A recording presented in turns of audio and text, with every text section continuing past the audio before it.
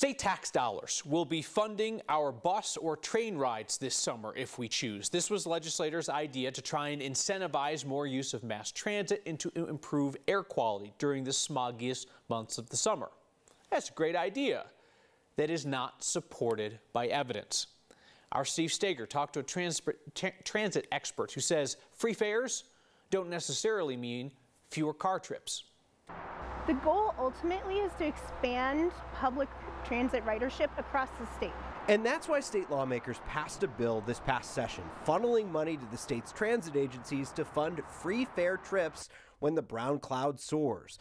The problem, according to a lot of experts in public transportation, is that free fares don't necessarily get people off the highway. You know, it's symbolic to say, well, we're going to remove the fares for, for one month, when actually the real obstacle to growing ridership is that the service isn't frequent enough. Dave Bragdon leads the nonprofit Transit Center, which researches public transit issues and advocates for a better system.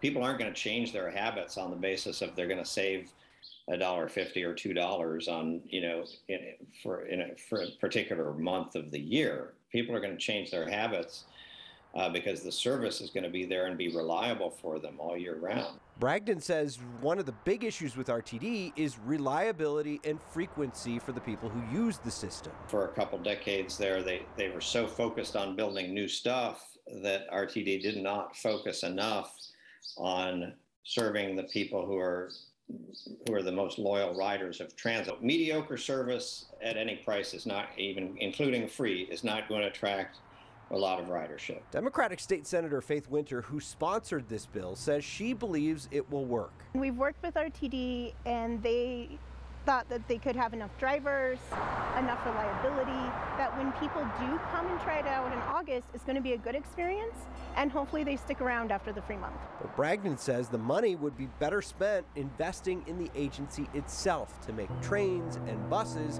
more reliable. If, if the product that you're trying is free, but it's substandard and it's a poor quality product, it doesn't matter that it was free. RTD said it plans to offer the free fares in August. So we'll see. For next, I'm Steve Staeger. Bragdon says that research shows the cost of a fare is a very small portion of someone's decision whether or not to ride transit. In 2018, UCLA studied former riders of public transportation in Los Angeles.